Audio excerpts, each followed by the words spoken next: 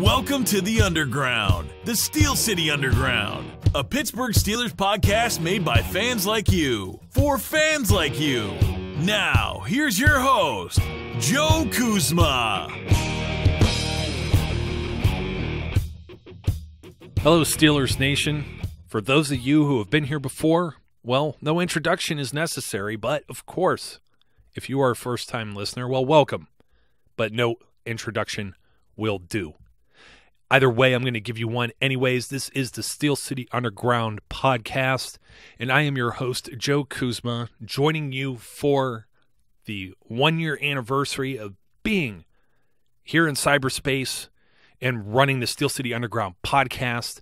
Thank you, thank you, thank you, thank you, thank you, thank you for all of your support. But just doesn't end right there. Before we dig into some housekeeping that we have to do, because we've got a lot of that that we have to do. There's things called tags. There's free agency around the corner. You got a combine. You got all these crazy things going on within the last week. I think my phone blew up. No, it's it's over here. Whether it's working or not is a whole other situation. But man, there's so much going on. But one of those things, put all that aside for a second. We want to put aside football. Yes, I know that's crazy, but we want to talk about family. We want to talk about something that's near and dear to one of our very own, and that would be Brian Roach. He joins me quite a bit as my co pilot here on the podcast, specifically talking about backup quarterbacks and quarterbacks and quarterbacking. And we're going to be talking about the draft. And Brian is just a, a big draft geek. But Brian is also a father.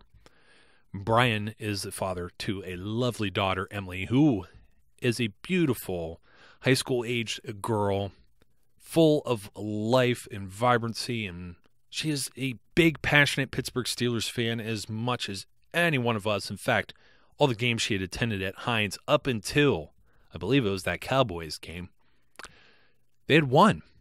So she's also a good luck charm as well. But you know what? It may not have happened that way. It did, however, because of research in part from the March of Dimes. So we have Emily's story over on steelcityunderground.com. You could check that out. And we also have it linked from a page where we're helping try to raise funds this month of March for the March of Dimes. Because if it wasn't for the research that they do, Emily's story may not have the same type of happy ending that it does have. And I'm not trying to be too overdramatic, folks. I know everywhere you go, somebody's at a cash register and asking you to donate a dollar here or a dollar there. Trust me, I'm with you on that. But this is something that's close to home for all of us. This is one cause we truly, truly believe in. And it's something that you may have a little incentive to help out with because if you go over to steelcityunderground.com slash March of Dimes and put some dashes in between March of Dimes, and you'll find it. There's a pop up that pops up on the screen, and we have it pinned all over social media. So if you look for it, you'll find it. It's not too difficult to find. If you have trouble, just send us a message because you know what? If you'd like to help us help babies, we'll help you find the way to help donate and contribute to this great cause. So we have some rules over on the website, but if you go and help out and you follow the instructions that we have here, we're going to give you a chance to win, enter this sweepstakes contest, whatever the legal terminology is. We have all of that mumbo jumbo on the website, but you'll have a chance to win a replica helmet signed by Rocky Bleier. This comes from Brian's personal collection, and Brian has been very generous to donate this. We may have some other uh, other prizes that are going to come out at that time. At this time, we haven't quite figured all of that out, and of course, various members uh, already within this uh, Steelers community, the different uh, writers and reporters and everybody else. uh, people are already jumping in and pitching in and everything like that, and they're not even asking to be entered into this. So this is for you fans. We appreciate if you could take a moment of your time and help us. Like I said, help us help babies because this is what the March Dimes does. And it is a very, very heartfelt cause. Now that I've got you down with all the feels right there from the beginning, truthfully, I wanted to do this without Brian too because, uh, you know, Brian has been very good with with everything, and I wanted to make sure I said everything to a T as to make sure because I mean this is a very big important thing for for my buddy over there. So, uh, but I wanted to do this for him, and I didn't I didn't tell him I was going to do this on the show. So I just want to make sure I just want to make sure that everyone is aware this is something that our whole team is behind, even though this is very big for Brian. So head on over steelcityunderground.com slash march of dimes march dash of dash di, uh, dimes dives let me tell you i've been tongue tied i've been cotton mouthed i've had technology problems. I'm not the only ones either. For those of you on tuesday that just if you work in technology fields like i do somebody at Amazon had a typo that put down the World Wide Web for like four hours because everything's tied to Amazon Web Services, even Steel City Underground and all the different uh, project management tools and communications uh, things, and even social media. Couldn't upload a photo to some some of these services. So, uh, this is uh, it's just been crazy, and uh, I guess even being tongue tied, I'm just like behind the eight ball here. And with some of this housekeeping that I got to do, we got to talk about some, just in general, getting ready for the regular season, the 2017 regular season. And as I do that, technology's not working with me. I actually had a checklist. I tell you guys, I don't have an agenda. I, I usually at least have a list of things I want to cover. There's been a lot of moves in the NFL and a lot of moves with the Pittsburgh Steelers, particularly over this past week. The NFL had been sitting on their duff just waiting to announce this salary cap, and they had to do it sometime soon because well, the finan- the financials weren't exactly solid. There, there's a number of formulas that go into figuring out all these various tags that are placed on players. Now, just to explain this, there are you basically hear the franchise tag and the transition tag, but there are two flavors or varieties of the franchise tag, and so there's technically three tags. So you have a non-exclusive tag uh, you have a uh, exclusive franchise tag, the non-exclusive franchise tag, and the transition tag. See, I almost told you there was four, but there's there's three. There's two different types of franchise tags there. So reason this is important is the non-exclusive tag it's a one year offer for a player and it's no less than average of the top five salaries of that player's position over the last five years or 120% of the player's previous salary, whichever is greater. Now, that's the uh, tagline that's at the back end of that. The, the, the, reason that this exists is you could tag a player uh, to, I think, two times total. And when you go to tag them again for the following season, then it's going to be 120% because obviously the average probably isn't going to change much. It could go down, it could go up and as is the case, we know we're talking about Le'Veon Bell here. So we always knew the mathematics. We knew the multiplier. There's these complex formulas. It's actually a little more in depth than what I just said there. That's kind of like the vanilla generic version of that. And I try not to get into the salary cap conversation because you know what happens when I do, I get my hand slapped. There was something I saw on NFL Network last week, and we put out an article. And anybody who read it may have seen that we were talking about. In fact, you may have even seen the segment over on NFL Network and I'm not going to uh, uh, name the person that was on air. I'm sure it's a pretty embarrassing moment as is that either they had the wrong information and or were giving uh, incorrect information of which uh, then I in turn disseminated to the masses here through SCU. And that was if Adrian Peterson was not going to be re-signed by the Minnesota Vikings it would have some impact or implication on the salary cap and drop it uh, the the actual um, not the salary cap, but the franchise tag number, and it would drop it like $4 million or whatever. And then there was some other things that came out. There was like some funny math and blah, blah, blah. And, the, and there were some that were speculating that there was a difference in uh, the average because the exclusive franchise tag, now the exclusive franchise tag, the way it differs from the non exclusive is players under the exclusive tag cannot go out and negotiate, let's say, with the Cleveland Browns, who have like an insane amount of money to spend here in free agency something like over a hundred over a hundred million dollars or something. I don't know. They they have something crazy out there as far as money to spend. So this exclusive tag means you this player they're yours. They can't go anywhere and it's a one year deal and it's an amount no less than the average of the top five salaries at that player's position for the current year. Now that number was actually that number actually that figure when you do the math you do the magic formula the colonel's secret recipe and arrive at what that figure ends up being. It ends up being uh, b to the non-exclusive franchise tags a and the non-exclusive tag is actually averages out to be uh, a higher number than the exclusive. So you would think, well, that's a no brain situation there. You just give the guy the exclusive, he can't go out and negotiate well with any other team. Well, not so fast. Because there is a clause within this collective bargaining agreement between the league's players and the league that has a, a weight. There's more. Uh, if this non exclusive tag is actually more than an exclusive tag, it's whichever is greater. So actually, the franchise tag it just ends up being the same cost, at least at the running back position. Now, it's not true of every position, but the reason that that is is wouldn't it be silly if the non-exclusive version would actually cost more? It would actually cost more to allow a player to go out and negotiate with another team, and you could save money by keeping him uh, just handcuffed to you, like Kirk Cousins with the Washington Redskins, for example. Let's say that guy wanted to get out of town. I'm not saying he does. I'm just using this as, for an example.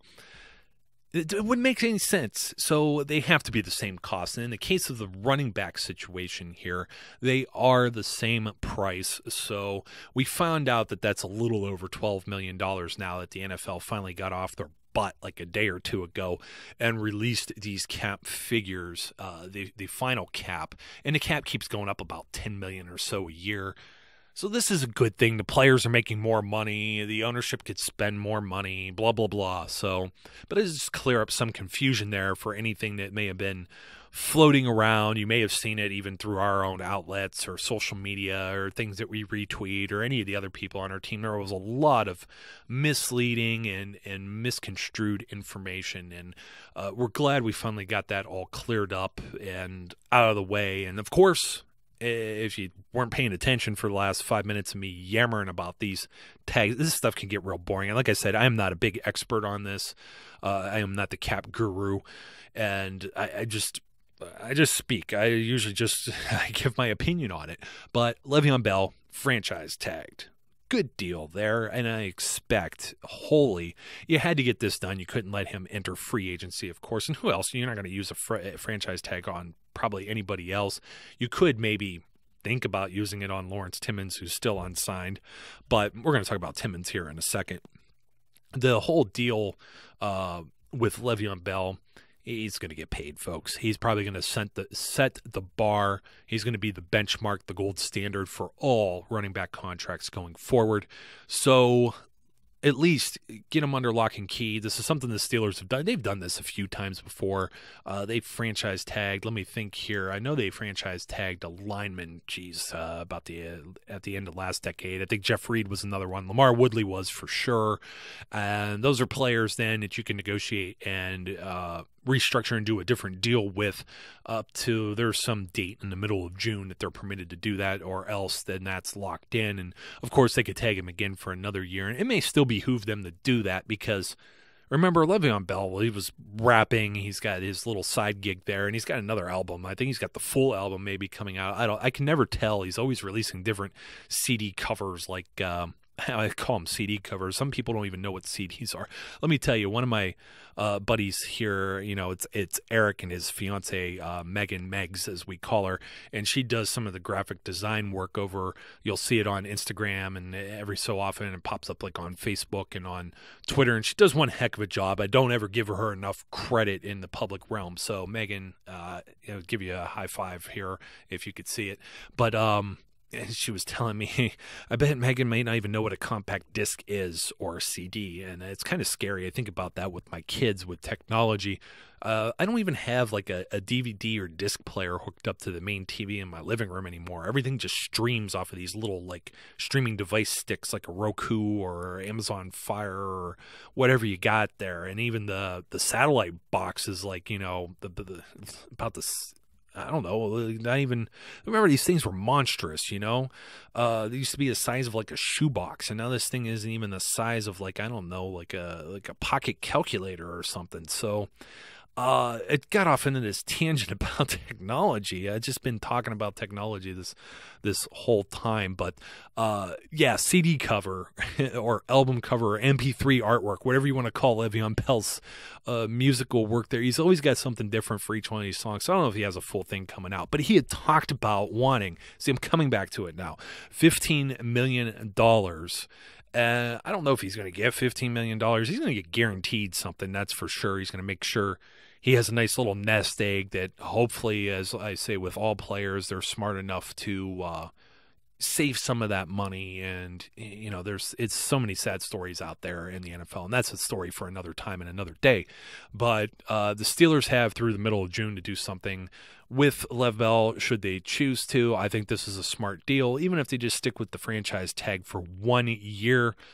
Not too bad. I mean, a lot of people are worried about injuries and stuff. Hey, look, I am never going to fault a player who gets hurt by something that's out of his control. And most certainly, having your knee taken out from your leg is out of your control. It's not like one of these things where he was running downfield and pulled a hamstring because he's out of shape. You know what I mean? It's because he had players violently go at him. Now, I understand a lot of people are going to say, well, what about this groin injury or whatever? I mean, I think maybe we ran the wheels off this guy uh, this year. I mean, he didn't even play three ga- games, he was suspended. So you see the numbers he put up and the numbers he may have put up if he did play those three. Well, we're going to even take back, we'll say four games because I forget, I always forget about that week 17 contest against the Cleveland Browns where many of the starters sat and it was like a glorified preseason game with the exception of the Browns who were actually trying to win their second game of the year and did not.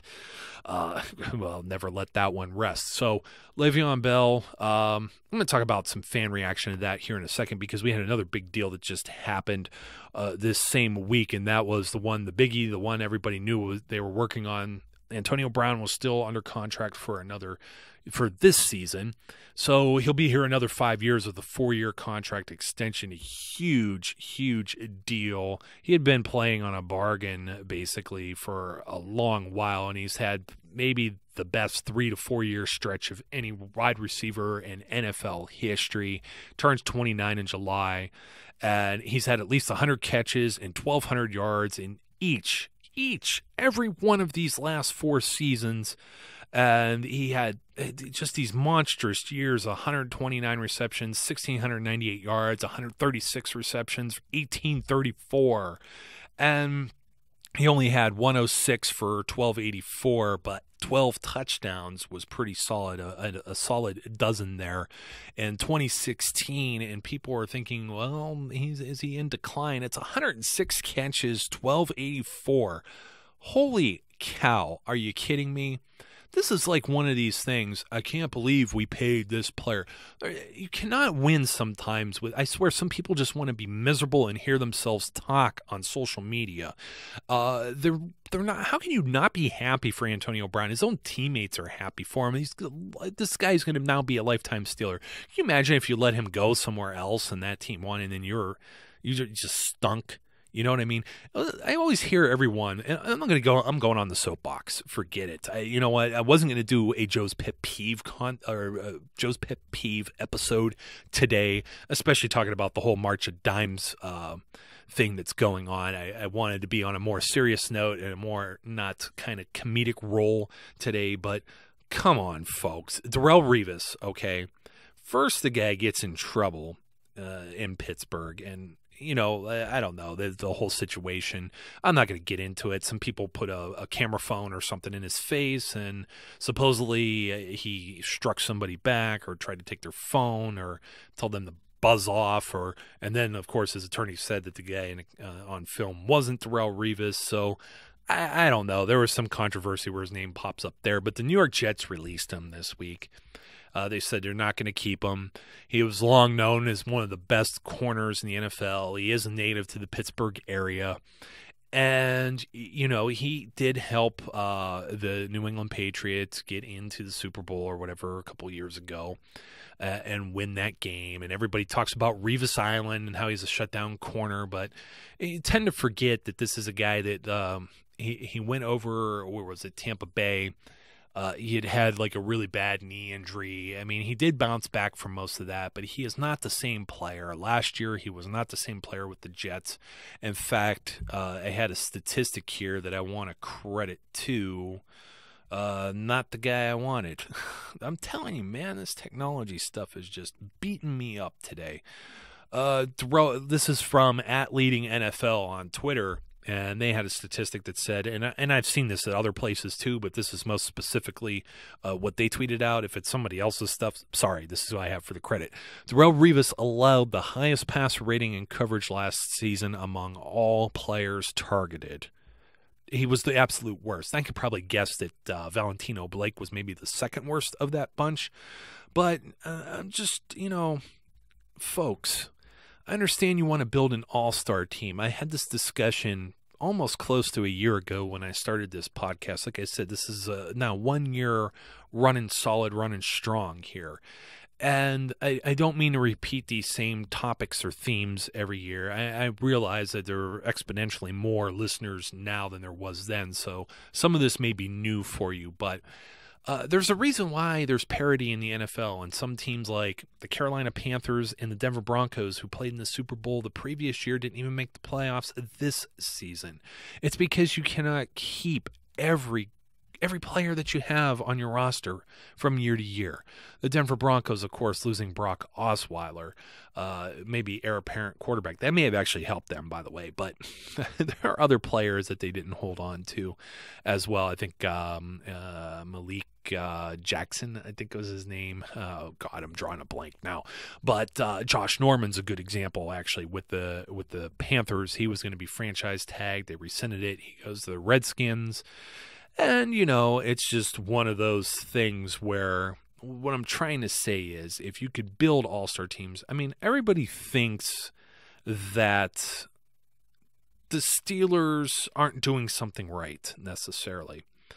Uh, that they're why aren't they doing what the New England Patriots do? Well, the New England Patriots, I hate to tell you, some players go there, they get the right mix, they get things that go their way, they get to be, they get luck. Every team has luck. I mean, come on. Um, hello, the Steelers with the Antonio Brown and the whole goal line immaculate extension thing this year. You get lucky sometimes. So I don't necessarily want to discredit the New England Patriots as a whole.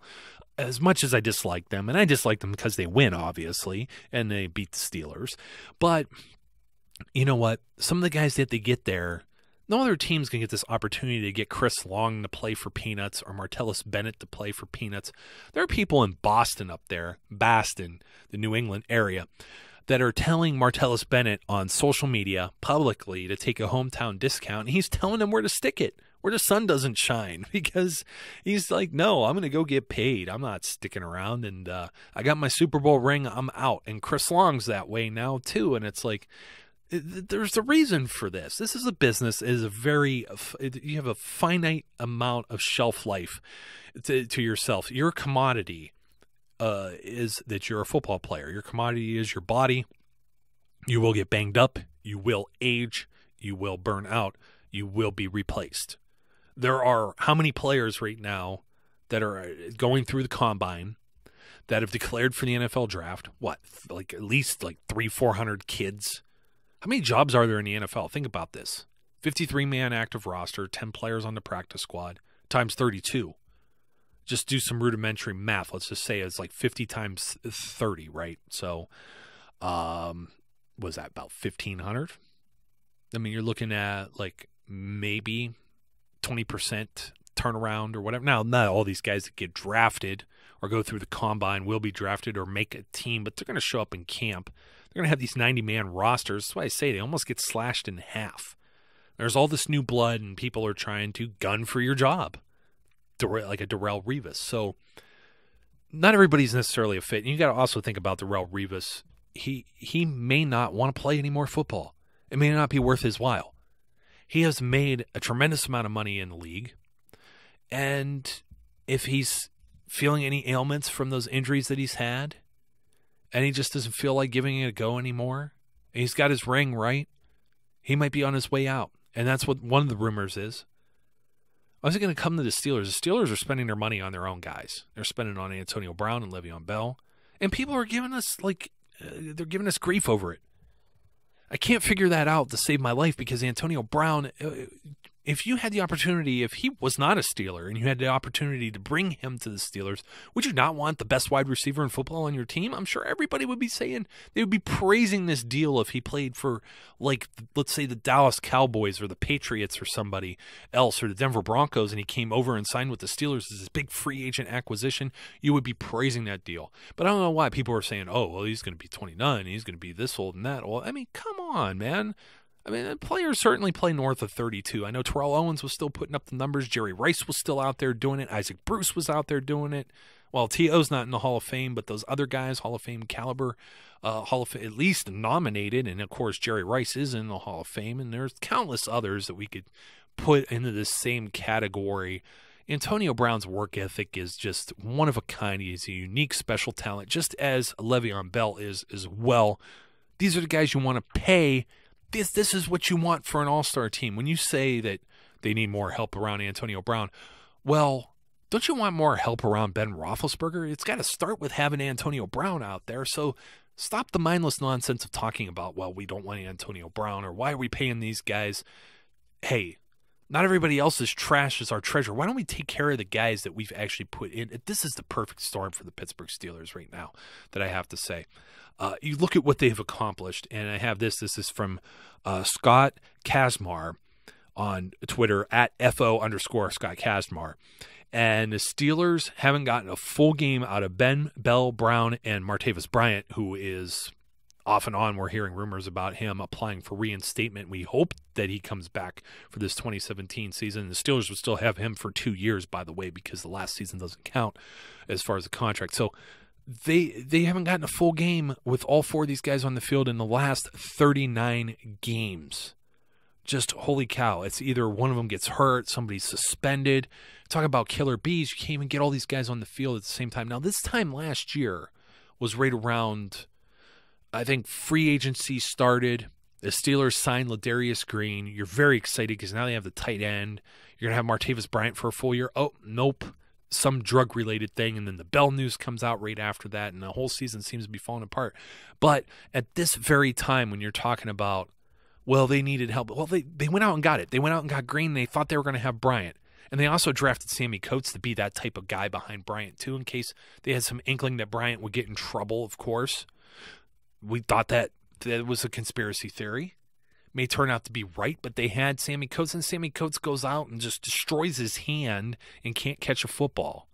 Now, he may have been challenged to do that in the first place, but he certainly flashed a time. Does anybody remember the first five games of the regular season where he and Big Ben had connected on, like, I think a 40 yard or longer uh, catch, pass, and reception?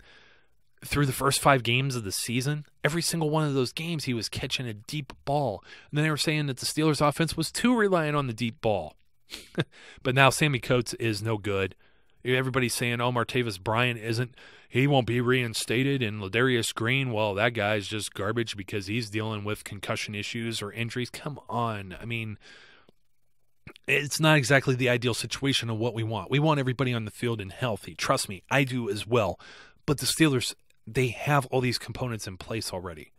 So just kicking it ahead and looking at free agency, if you want a corner, that's fine. I mean, we don't know what's going on yet with Ross Cockrell. He used to be a restricted free agent.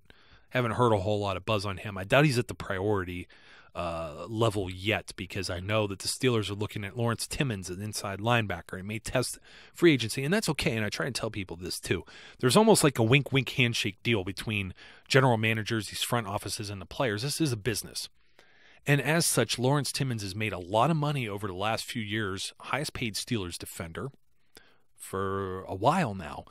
And they're probably not feeling like he's worth that same dollar amount. I know I'm not saying he is or isn't. But what they're going to do is, is they're going to say, Law Dog, you want to go out and see what kind of offers you're going to get? And he's going to get some. This is the same thing the New England Patriots are going to do right now with Dont'a Hightower. Because that linebacker, they've said they're not going to use the franchise tag on. They probably feel the franchise tag is too high versus what they want to pay or can pay. There's also that. You only have so much room. There is a cap, there is a ceiling to this whole thing. You only have so much budget. So, in, in doing that, you got to look ahead too What other guys are we going to have to pay here in the near future? Ryan Shazier, Stephon Tuitt. These are guys that are going to be coming up in contract years. I think this is the perfect storm for the Steelers, though, because what's going to happen with Timmons is he's probably going to go out, and the Steelers are saying, "Hey, don't go signing anything. Let us know what they let us know what they're offering you."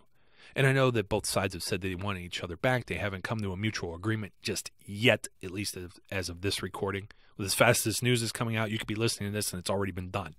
So I'm going to put that disclaimer out there in case I'm not ahead of the game. But I expect Lawrence Timmons to be back. It's just a matter of, hey, what's the market for you? And I think that's going to happen with a few other players too, such as like Landry Jones. You still got to be looking, uh, though, starting corner, the other starting inside linebacker. They could roll with Vince Williams. They could draft another guy. You got James Harrison coming back a two year deal. A lot of people question that. Why two years? Well, they've done it with other players, or they've extended or structured, and they hadn't necessarily played that final season. Polamalu still had a year on his contract, did not play it. Heath Miller had another year on his contract, retired. Brett Keisel released. I want to say Ike Taylor was in that group too, but Ike Taylor may have just not been re-signed and ended up retiring. So it's common. It's just the financial thing. It's kicking some of the money, kicking that can down the road. The Steelers are finally free of a lot of those deals that they had. I mentioned some of those, and then there was, of course, Cortez Allen and LaMarr Woodley was a very big deal that didn't pan out for any variety of reasons. So now they have this money and they're spending it on their own guys and they're getting chastised for it. And I don't understand it. But this is the way it, it should be. I think the offense has the weapons. They have everything in place already. They just need guys to be healthy. So everyone that's out there and wants them to sign or draft a wide receiver or now tight end, you might want some insurance. I'm not completely sold Ladarius Green will be 100% 16 game starter. He has not proven to be that ever. But then again, he hasn't been a, a, a 16 game starter ever in the in league with his four years with San Diego either, though. So, okay, maybe there, but otherwise, guys, I don't know. This seems like to me the focus. I don't think the Steelers are going to really dip their toes in the free agency, other than maybe get some depth, some guys that could play like special teams, maybe add a linebacker or somebody in the secondary. Could even bring Justin Gilbert back for that for that matter. But it's not going to be Darrelle Revis. Darrelle Revis is, I hate to say washed up, but it's it's probably past his time. Uh, some other deals that they got. I mean, they got all the linemen locked up. Well, they're trying to lock up uh, exclusive rights. Uh, free agent is a big Al Alejandro Villanueva, instead of just signing him to the cheapy deal that they've been doing for the last two years because he was on a futures contract, left tackles get paid a lot of money. Left tackles are very valuable in football, as we know. They're going to try and get this guy set for several years. And I think what they're trying to do is, is to make sure they have all five of these linemen for the entire year. And by the way, Alejandro Villanueva, the only player on the Steelers offense to play every single snap of the 2016 season. That's incredible. So you got him. DeCastro's locked up for several years. Pouncey's locked up as long as Big Ben is here, as far as I'm aware. Marcus Gilbert, several years. Ramon Foster signed a three year deal last year. So you got at least this two year window that they're looking at right now. And that also would include Martavis Bryant. If he's reinstated, stays clean, and doesn't get suspended, doesn't get in any type of trouble. You've got Antonio Brown now that's going to be here for an extended amount of time. They're working on keeping Bell here for an extended amount of time, and you've already got Ben here for quite a while through what the 2019 season, 2020, something like that when he becomes a free agent. So, uh, of course, we know where Ben will be. He just celebrated his 35th birthday. Happy birthday, Big Ben, uh, by the way. So, I, I don't know, man. It looks awful good to me, don't you think? So, what do you need on the other side? It's just those couple moves. Ross Cockrell, Lawrence Timmons, try and figure that out. You got James Harrison coming back at least for one more season, maybe mentor some guy that they end up getting in the draft. Doesn't seem like you're going to get anybody in free agency It's going to be a big splash. Doesn't seem like the Steelers have a whole lot of needs, but we're not going there just yet. That was all of the housekeeping moves on all the maneuvers and all the free agency things going on. We're going to be talking draft a lot. We're going to be talking about combine, and we're going to be talking more about free agency in the coming episodes. Have some surprises for you, and hopefully have some of our special editions like the WTF and the JPP back within the next week. So, folks, head on over. Don't forget about the March of Dimes deal that we're doing. Give, your chance, give yourself a chance to win this rock, signed Rocky Bleier helmet as well as helping a great cause. Until next time, be safe, be good, and I will catch you later. We would like to thank you for listening and remind our listeners to follow us on social media and our website, www.steelcityunderground.com.